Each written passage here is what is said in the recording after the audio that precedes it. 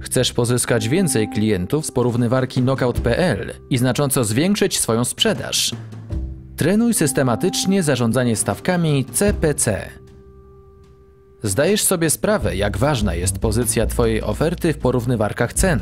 Im jesteś wyżej, tym więcej klientów trafi do Twojego sklepu, a Ty zarobisz więcej. Ale jak być wyżej? Przecież nie chcesz obniżać cen i rezygnować z części swojego zysku. To dla nas jasne. W knockout.pl wcale nie musisz obniżać cen, żeby być na wyższej pozycji. Wystarczy, że będziesz mądrze zarządzać stawkami CPC. Maksymalna stawka CPC to najwyższa kwota, jaką zgadzasz się zapłacić za kliknięcie w Twoją reklamę. To tak jakby Twoja maksymalna oferta w licytacji miejsc na liście wyników. Im wyższe Twoje CPC, tym wyższe miejsce zajmiesz. To miejsce ma bezpośredni wpływ na osiągany przez Ciebie zysk. Przebij stawkę konkurenta o 1 grosz, a będziesz wyżej od niego.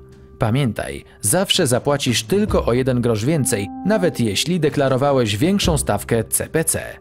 Wejdź do centrum sprzedawcy i kliknij w stawki CPC.